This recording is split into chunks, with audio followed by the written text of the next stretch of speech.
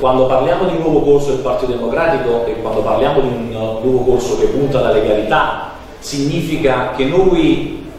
facendo anche mea culpa rispetto al passato, noi rispetto a quello che è tutto il panorama del centrodestra versano, quello che è oggi eh, maggioranza e opposizione e quello che sono gli ultimi 12 anni di amministrazione di centrodestra e il fallimento di questi 12 anni sono oramai al, alla, agli occhi di tutti. Tant'è che su un tema così importante per una trasformazione radicale per la città di Arezza incorriamo in un problema, in un problema del genere. Diciamo, questa è la, è la puntualizzazione. Poi eh, ovviamente nella, nella, il lavoro che poi sarà fatto sarà fatto un lavoro non solo di dibattito eh, politico, diciamo, eh, cittadino e, eh, e in sezione, ma sarà avviato chiaramente un, un percorso di istruzione attraverso il, il, il, nostro consigliere comunale. Per entrare poi nel merito della, eh, della sentenza passo la parola al, al nostro delegato provinciale, al nostro dirigente provinciale, l'avvocato Antonio Sì, grazie a Carmine e a Elena che hanno introdotto il tema di carattere generale, il tema politico ma io mi voglio soffermare sul senso no, eh, della, di questa conferenza stampa. Eh, Carmine diceva bene, lo diceva anche Elena, un nuovo corso si intende anche eh, nel non tacere, nel non omettere eh, notizie, situazioni, questioni diciamo poco lineari, eh, un quadro un po' torbido e quindi anche dire certe cose, chiedere chiarezza e contezza di certi meccanismi, per noi significa anche questo nuovo corso.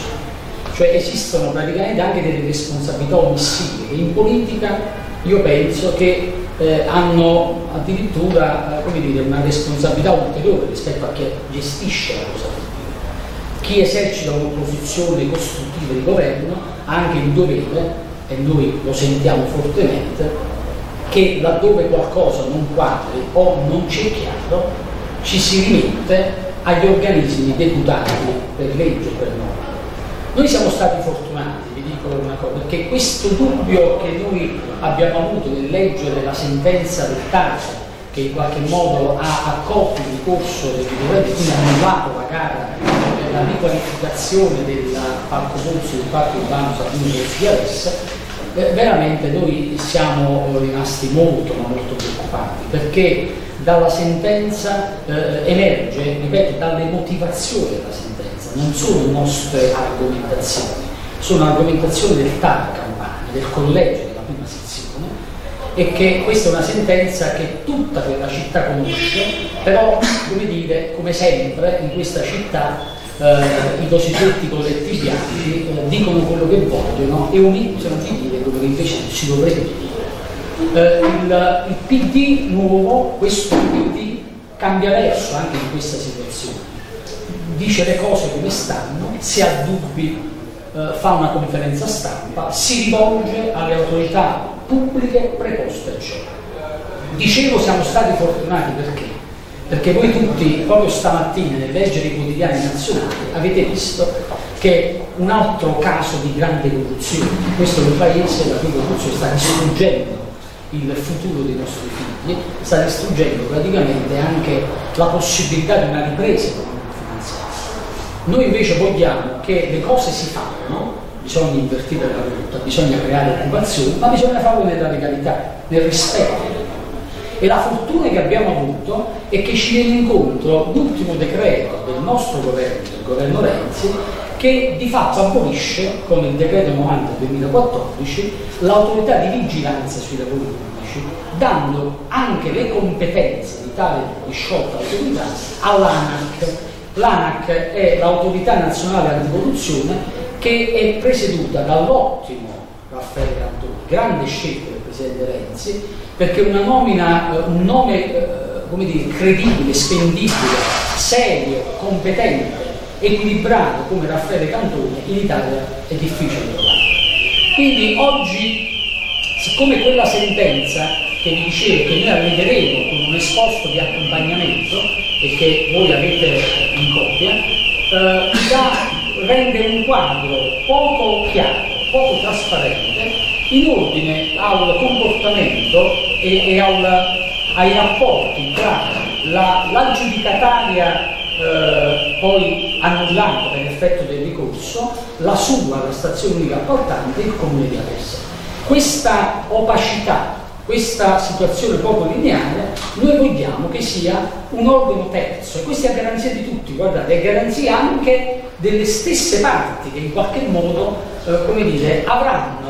nel momento in cui l'autorità anticorruzione si preoccuperà con un'istruttoria che noi chiediamo che sia piena e che non ci siano zone d'ombre, cioè nel senso che noi andiamo a chiedere al Presidente Cantone di eh, acquisire nell'ambito dei poteri e attribuzioni di legge a, fin dall'inizio della predisposizione del bando di gara e tutto l'iter complesso procedimentale fino all'aggiudicazione definitiva. Perché eh, noi sappiamo che anche in sede di partecipazione alla gara, anche progettuale, ci sono state, e lì negli atti procedimentali emergeranno, ci sono state praticamente dei rilievi anche di giustificazione da parte di tecnici che dicevano cose serie, che andavano in qualche modo a sottolineare delle illegittimità, delle situazioni poco chiare, rispetto alla quale la stazione appaltante che si è occupata di questa gara, come dire, ha omesso, non lo dico io, il TAR da un quadro molto eh, praticamente del, del, compito e delle attribuzioni nel caso di specie della sua eh, di Casella. Quindi noi vogliamo vederci chiaro. Innanzitutto buongiorno grazie per essere venuti di, di sabato mattina a fare una conferenza stampa dove rispetto alla quale sul tema molto è stato scritto, però diceva giustamente bene Andino prima non si è mai entrati nel merito del problema e della questione. Lui l'ha colta e l'ha spiegata benissimo la cosa, io penso che questa, questo, questo, fatto sia emblematico di quello che è l'operato dell'amministrazione da un paio di anni a questa parte. Un'amministrazione che tende a programmare e a proclamare ma che di fatto non porta a compimento nessuno dei, degli atti programmati. Il Parco Pozzi doveva essere il primo di una lunga serie di opere pubbliche che portavano poi al cambiamento della città. È evidente, dopo il Parco Pozzi doveva essere Rito Asica, Olimpico, ma non battendo il Parco Puzzi è evidente che ci sono delle difficoltà anche nel, nel procedere rispetto all'attribuzione delle altre gare. Quindi io coglierei proprio l'occasione per paragonare quello che è successo durante l'iter amministrativo del Parco Puzzi rispetto a quello che è poi il senso politico di questa amministrazione. E, e noi come, come opposizione abbiamo, abbiamo provato a convocare una commissione consigliare per cercare di capire effettivamente cosa è successo e di cercare di, di, di, di avere un'interlocuzione con il dirigente che poi era anche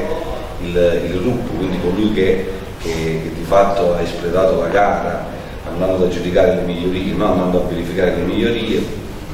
perché eh, la sentenza è chiara, c'è qualcosa che è, eh, è opinabile rispetto al, all'operato del dirigente io penso che noi con forza, l'abbiamo detto, lo diremo anche eh,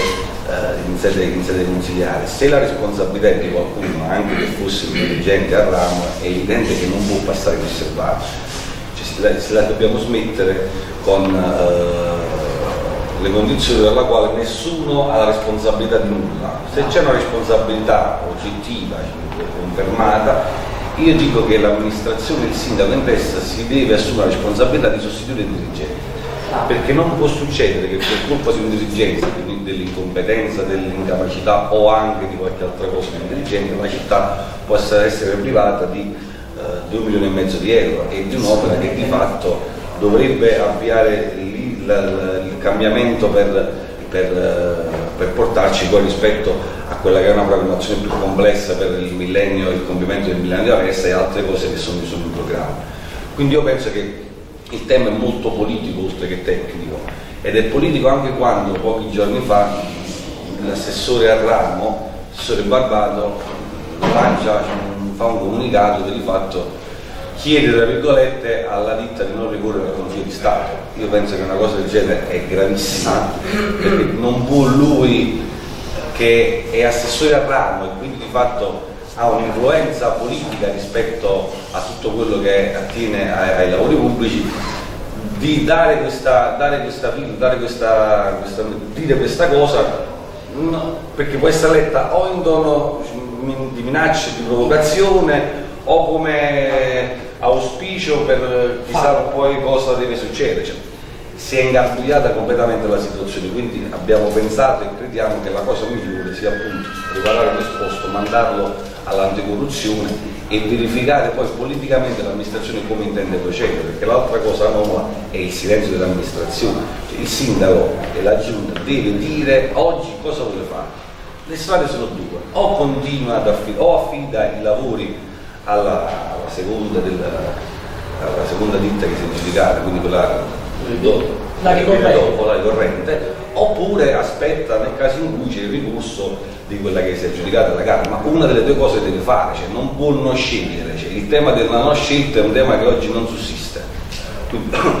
Questo è quello che noi abbiamo pensato e vi volevamo comunicare. Io dopo che facciamo quella chiacchierata ebbi occasione di parlare col sindaco e di dire al sindaco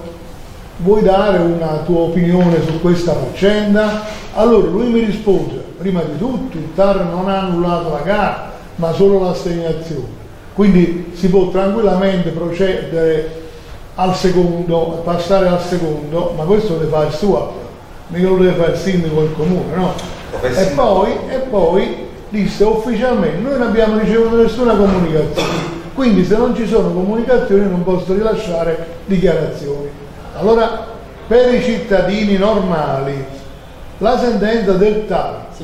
che cosa ha fatto? Ha annullato la gara o ha semplicemente detto quella ditta non deve vincere perché ci sono dei problemi? E questi eventuali problemi per i quali su quella nota voi vi rivolgete al cantone eh, mettono in dubbio, in luce, un comportamento eh, di un amministratore, di un, un funzionario del comune di Aversa che avrebbe voluto in qualche modo facilitare quell'azienda a vincere perché ci stanno dei rapporti di amicizia, di conoscenza, di interesse, andando a, a non considerare alcune cose, voi l'avete scritto. Se non si fanno i lavori, se non si fanno i lavori, praticamente non si chiede di più. Se io faccio una gara e dico lavorerò per aggiustare questa stanza, però poi penso di non dipingere nulla, però per la pittura voglio comunque ci vorranno soldi e quindi dovresti dare dei dettagli specifici che è quello che noi dobbiamo dire non tanto il vostro comportamento che è giusto. Voglio chiarire la legalità la vogliono tutti pure il sindaco la legalità ufficialmente okay. ma noi accogliamo l'invito alla trasparenza. Allora eh, appunto. andiamo, a questa domanda rispondo in maniera molto sintetica e chiara spero, spero, ma sempre. eh, il ricorrente che ha proposto il ricorso ha fatto sette motivi di ricorso, cioè ha articolato sette motivi per i quali dice devi accogliere quello che io dico. Il comune di Aversa e l'aggiudicatario nel costituirsi hanno a loro volta fatto delle domande incidentali, cioè a loro volta delle domande autonome per tre motivi. Il TAR ha rigettato le, i motivi del comune di Aversa e della società del consorzio aggiudicatario e ha accolto i motivi del ricorrente. In modo particolare, nel primo motivo, totalmente accolto dal TAR, le, che per sintesi vi dico anche le cui motivazioni sono in cinque pagine, dalla pagina 16 alla pagina 21 della sentenza, sostanzialmente che cosa dice? Dice che la sua, la stazione unica appaltante, ha praticamente concesso dei punti, perché la gara era sulla qualità e su altri requisiti, alla, alla, all'aggiudicataria, alla ditta arrivata prima, diciamo all'aggiudicataria, su fatti non rispondenti a vero. Fa un esempio, no? la, eh, la, sua, dove dice, dove dice che allora, la, la stazione appaltante, l'aggiudicataria, che è la ditta che poi si è aggiudicata, che è stata poi annullata l'aggiudicazione, non avrebbe indicato i costi di 19 migliorie e lavorazioni aggiuntive per un importo di 213.148,60,